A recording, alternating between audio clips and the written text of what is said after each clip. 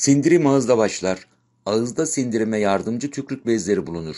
Bezlerinden salgılanan tükrük içinde su, elektrolit, mukus, amilaz ve lizozim enzimi bulunur. Mukus besine kayganlık verir, yutmayı kolaylaştırır. Amilaz, nişasta ve glikojenin kimyasal sindirimini yapar, dekstirin ve maltoz oluşur.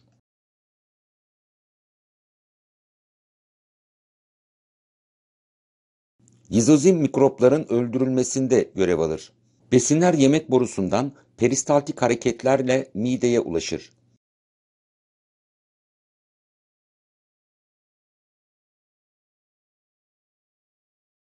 Besinler mideye gelir. Mideden mide öz suyu salgılanır.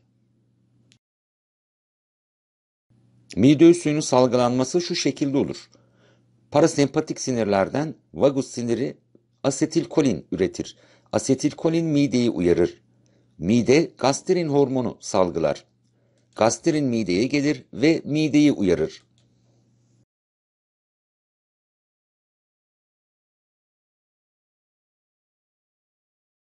Şef hücreleri Şef hücreleri pepsinojen salgılar.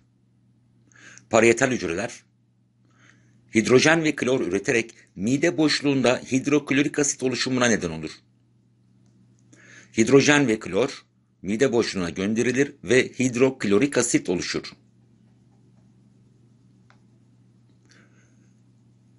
Mide boşluğuna gönderilen pepsinojen hidroklorik asit ile aktif pepsine dönüşür.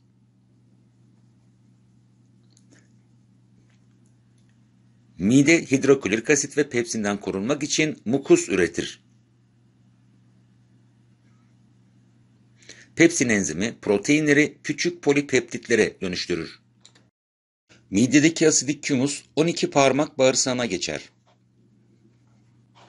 Besinler geldikten sonra 12 parmak bağırsağından sekretin ve kolesistokinon salgılanır. Sekretin pankreastan bir karbonatça zengin bazik sıvının salgılanmasını sağlar. Kolesistokinon pankreas ve safra kesesini uyarır.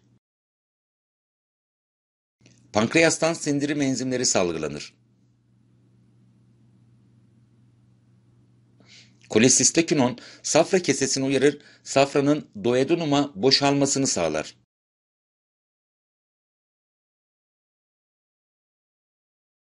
Pankreasın salgıları bir karbonat mideden gelen asidik humusun nötralize edilmesini sağlar.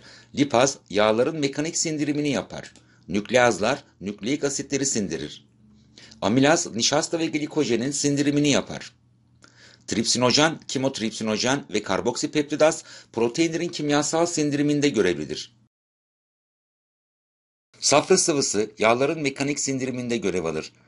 Yağların kimyasal sindirimini kolaylaştırır. A, D, E, K vitaminlerinin emilimini kolaylaştırır. Yağ asitleri ve gliserolün emilimini kolaylaştırır. İnce bağırsağın enzimleri, disakkarazlar, dekstrinaz, aminopeptidaz, dipeptidaz, enterokinaz ve nükleotidaz enzimleridir. Ağızda nişasta ve glikojenin sindirimi gerçekleşir, dekstrin ve maltoz oluşur. İnce bağırsakta geriye kalan nişasta ve glikojen amilazda yine dekstrin ve maltoza dönüştürülür. Dekstrin dekstrinaz ile maltoz maltaz ile glikoz moleküllerine dönüştürülürken sükroz sükraz ile glikoz ve fruktoza laktoz laktaz ile glikoz ve galaktoza kadar parçalanır. Midede karbonhidratların sindirimi olmaz.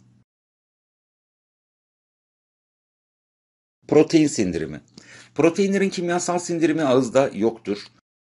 Proteinler mideye gelir. Mideden hidroklorik asit ve inaktif durumdaki pepsinojen salgılanır. Hidroklorik asit pepsinojeni aktifleştirir ve aktif pepsin oluşur. Aktifleşen pepsin diğer pepsinojenleri aktif hale getirir. Pepsin enzimi proteinleri küçük polipeptitlere dönüştürür. Küçük polipeptitler ince bağırsağa gelir. Pankreastan tripsinojen, kimotripsinojen ve karboksipeptidaz enzimleri salgılanır. İnce bağırsaktan salgılanan enterokinaz enzimi tripsinojeni aktif tripsine dönüştürür. Tripsin, kimotripsinojeni aktifleştirir ve kimotripsin meydana gelir. Tripsin ve kimotripsin küçük polipeptitleri daha küçük polipeptitlere dönüştürür. Daha küçük polipeptitler karboksipeptidaz ve aminopeptidaz ile dipeptit ve tripeptitlere dönüşür. Dipeptit ve tripeptitler dipeptidaz ve tripeptidaz ile amino asitlere kadar parçalanır. Yağların kimyasal sindirimi Yağlar ağızda ve midede sindirilmez. İnce bağırsakta yağlar safra ile mekanik olarak parçalanır ve sonuçta yağ emisyonu meydana gelir. Pankreastan salgılanan lipaz enzimi yağ emisyonunu yağ asiti ve gliserole kadar parçalar.